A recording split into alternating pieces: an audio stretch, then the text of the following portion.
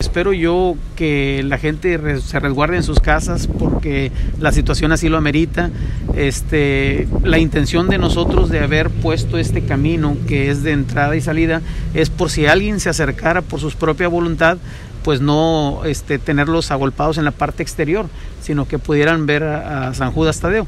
Pero sí queremos que se resguarden en su casa, que cumplan con las indicaciones que las autoridades nos han estado dando. De ninguna actividad extra más que eh, la persona que quiera pasar a dejar su veladora lo puede hacer. No al interior del templo, sino en el patio de la propiedad, que es donde tenemos expuesto a San Judas Tadeo.